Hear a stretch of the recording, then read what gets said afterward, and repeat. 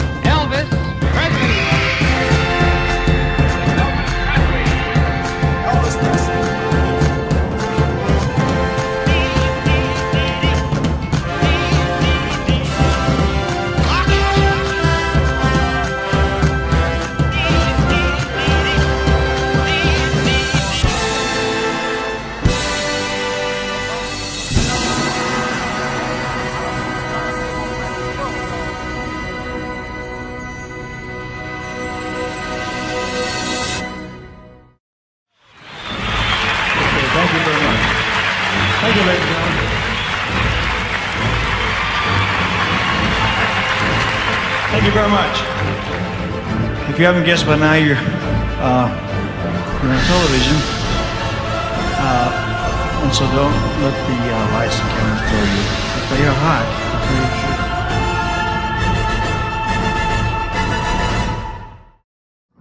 truth. Tomorrow night is Elvis night as CBS invites you to see and hear Elvis in concert. Tomorrow at 8, 7 Central and Mountain. Tomorrow night is Elvis Night on CBS. One little party in the county jail. When you'll be able to see and hear Elvis's last concert filmed in June of this year. Elvis in concert. A presentation never before seen in theaters or on television. Elvis in concert. Tomorrow night at 8, 7 Central and Mountain Time. There's a Dynamite Elvis Presley special coming up next. That's right. But tune in tomorrow night for our kind of action on CBS.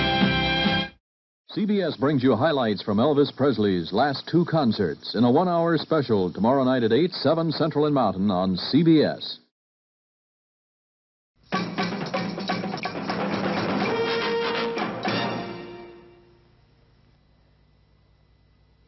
The following program was recorded a few months ago, and it represents Elvis's last concert tour. And we knew he had a good voice for singing, you know, because he did do a lot of singing, like in church. And uh, he made his first public appearance when he was nine years old. It was a school competition type thing, and uh, he won uh, third prize, singing Old Shep. And he, at that time, he couldn't even make no kind of music, you know. He just sung the song that. One thing that was good, he never changed his feelings about people or about anything. I'm sure he was very happy with his success and uh, all the things that's happened to him, but uh, good. But it didn't uh, make him think he was uh, something that he wasn't, you know. I uh, lived with him till my wife died in 1958, his mother, which we had uh, been married for 27 years. And uh, then in 1958, he went to Germany in service. I went over there with him. When we come back in 1960, I remarried. That's when I moved out of Graceland, and I haven't lived in Graceland since then. But I live, my land joined his. I live right at his back door. So we're still together. I know he can't go out like an ordinary person, you know, because people see him and of course they recognize him and they worry about this and that and uh, there's been so many different news reports out that they've made him into a, a hermit type guy like Howard Hughes was supposed to be in. You know, I don't know how this stuff all gets started, but uh, it's not really true. Elvis started in, a, in, a, in the latter part of uh, 54. And he went through 55, was doing pretty good, you know, locally, Arkansas, Texas, Mississippi, just touring the country. Is where he met Colonel Parker. In 1955, uh, Colonel Parker was booking shows down through Florida. He had uh, people like Hank Snow, Marty Robbins, just a whole package deal of the Grand Ole Opry stars. So he booked Elvis with acts, you know. At that time, Elvis's manager was named Bob Neal, was a disc jockey there in Memphis. So uh, Elvis got to liking the Colonel, and the Colonel got to liking him. So that's where it started. Colonel Parker is an honest man, and I think that's where the the big organization and the big uh, togetherness comes. You know, once you find out you don't have to worry about a guy being your manager, what he's going to do for you. He handles it. You do the show. Everything works well. He is just the king. The king. He's the king. The king of music. King. He is the king. He's the king. He's great. I love him. He's the king. He will always be the king no matter what. I think he's a good, clean fellow.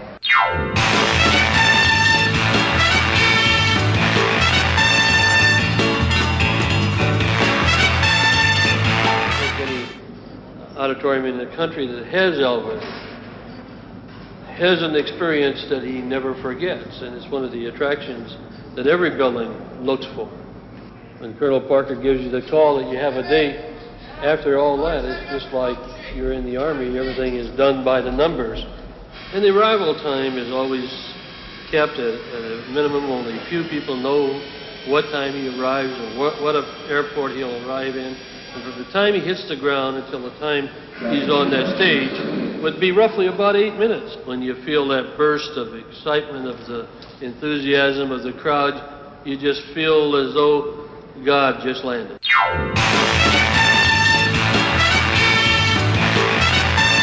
His home many times. Touched the gate and everything. That just turns me on just to do that. What's it going to do when I watch him tonight? They've got an ambulance waiting by. If he said, come along, let's go, I wouldn't look back. Imagine him still be as good looking as he always was, just older.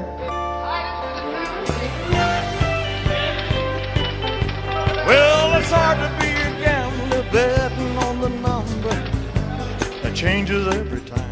I think when I first knew him, he wasn't playing the type of music I like, but now I think it's just all tremendous. Yes, I was in love with him. Oh, he's such a sexy person. I'm not a spring chicken anymore.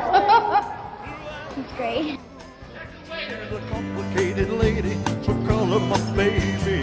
Moody Blue. Oh, Moody Blue. Help me when I'm getting through. I keep hanging on, trying to learn just Talk about Elvis and about how great he was when I was growing up. She has no idea who the man is. I think a kid can't grow up without knowing who Elvis Presley is. We're retired people, and all ages come to see him, I think. I think it's a lot of the flashy clothes he wears and everything, and it seems like all women like that. Well, when Monday comes, she's Tuesday. When Tuesday comes, she's Wednesday. To another day again. Her personality unwinds just like a ball of twine.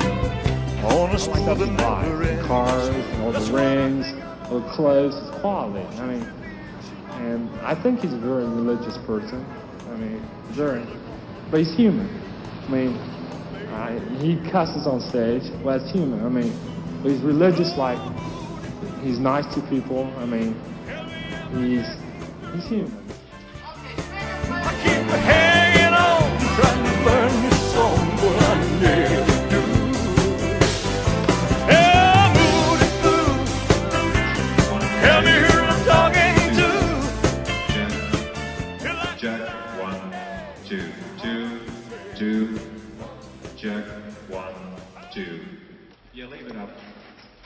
Oh, I'm so nervous I can't stand it.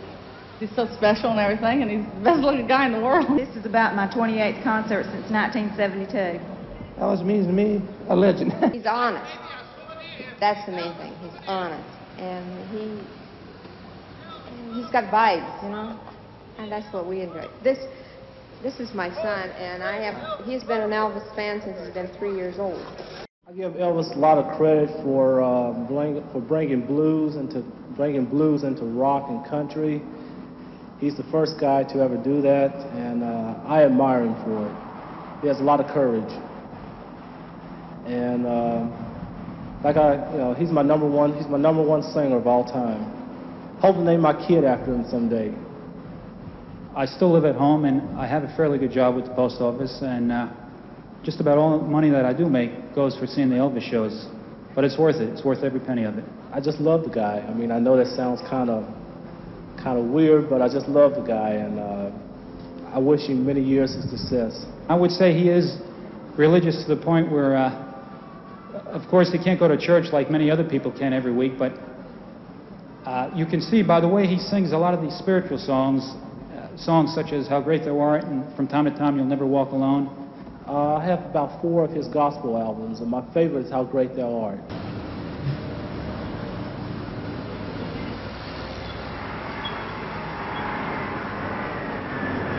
The official Elvis Presley fan club of Great Britain and the Commonwealth is probably the world's largest Elvis Presley fan club. We boast a membership in excess of 12,000 members, and that's a live membership. It's not one that we keep adding members to each year. Once each year, we bring a charter flight to the United States, and that's what we're doing here in Cincinnati today. All the way for Scotland! All the way for Scotland! I'm so excited. I could just, oh, I can't wait.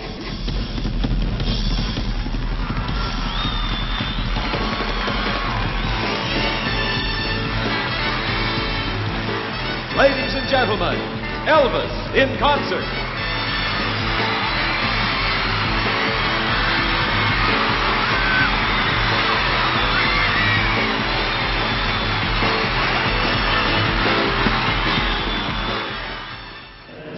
Photo album with some 25 color portraits of Elvis in his concert tours across America. The giant photo album sells for only $3. And then we have the giant Elvis portrait on portrait paper. Looks just like an oil painting for only $5. We have the smaller Elvis portrait also on portrait paper for only $3. Those great Elvis buttons, $2 each.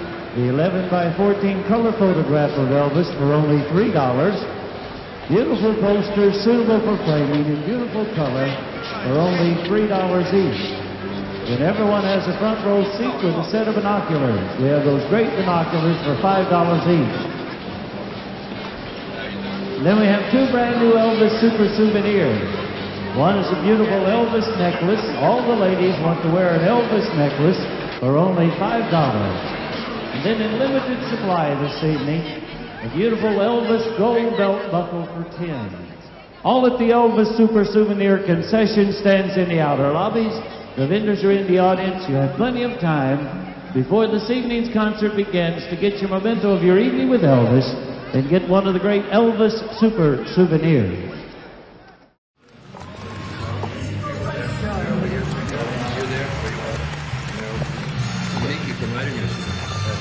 Face that way. Right around that way. And in one second, we're ready to roll.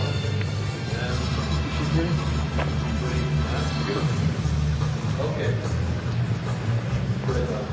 Uh, Elvis, uh, I'd like to introduce you to Monique Brave from the Sioux Indian tribe here in Rapid City, and Mayor LaCroix, who's uh, got a presentation for you also.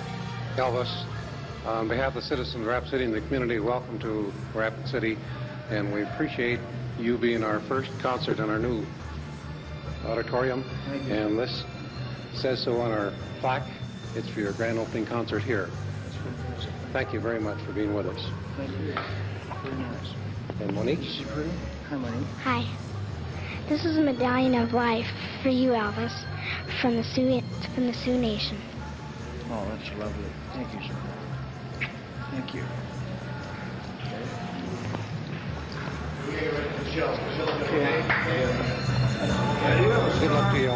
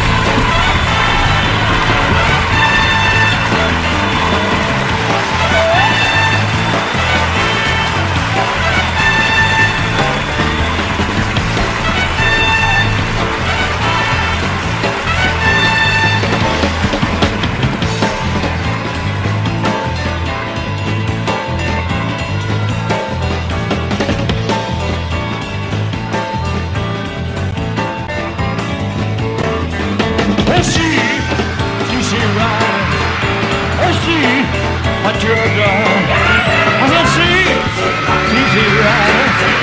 Let's see what you have done. Girl, you made me love you, and now and now and I love you and gone. What I say? Well, I'm going away, baby, and I want back to fall. Gone, gone, gone, gone, gone away, baby. Lord, I want, Lord, I want me back to fall.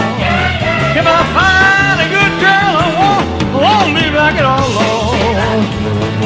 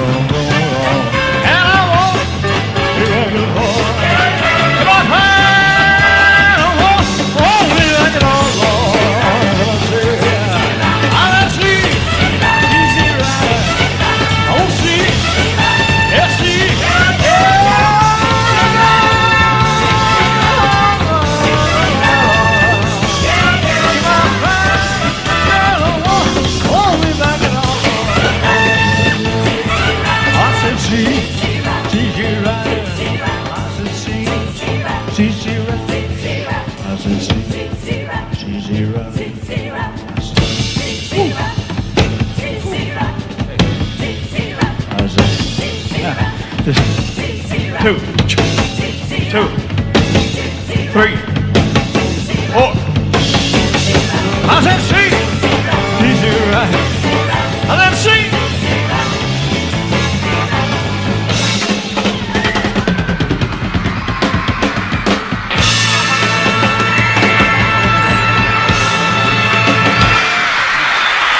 Okay, thank you very much.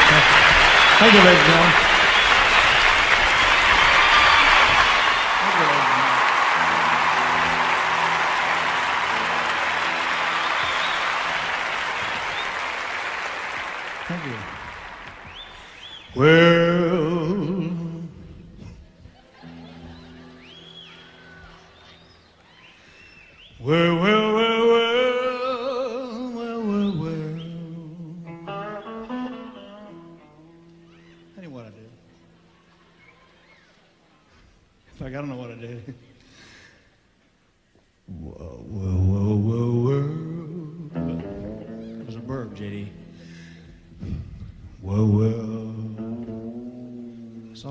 folks.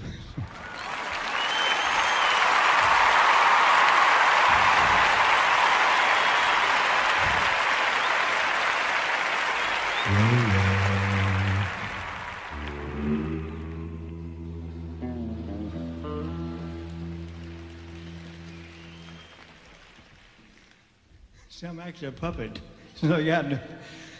Well, I said I got a woman town. Good to me. Yeah. I I got a woman way across town. She's good to me.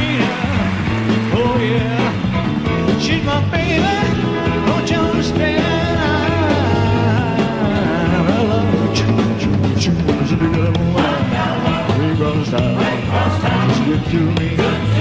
Oh yeah. She the in the. See loving early in the morning Oh.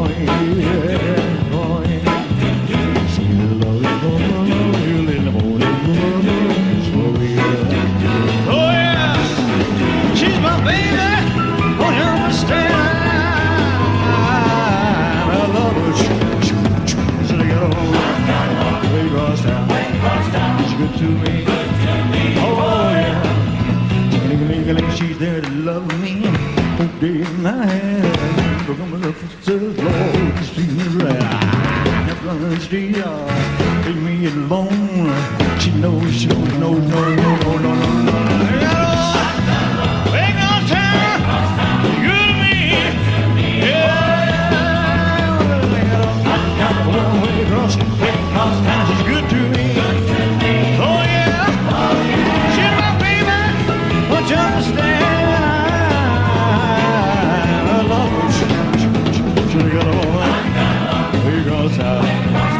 Good to me. Oh, oh yeah. So she's alright. She's alright. So she's alright. She's alright. She's alright. She's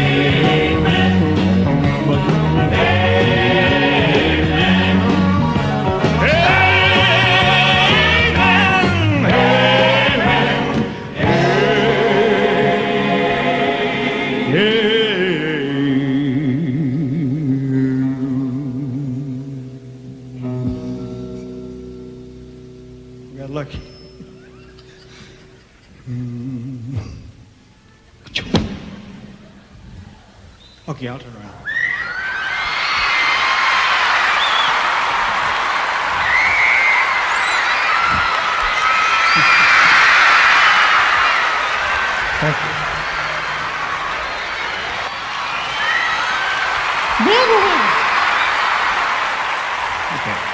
it's just a routine that I go through. Uh, you know. Ever since I was a baby, I've been doing it. You know, I was, a, you know, just an infant baby. You know, I was doing the same thing. They could put diapers on me. My mother's like,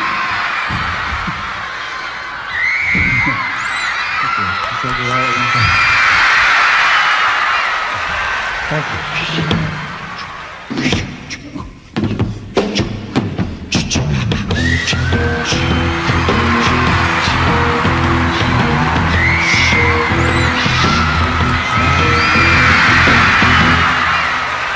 Thank you. You're on son.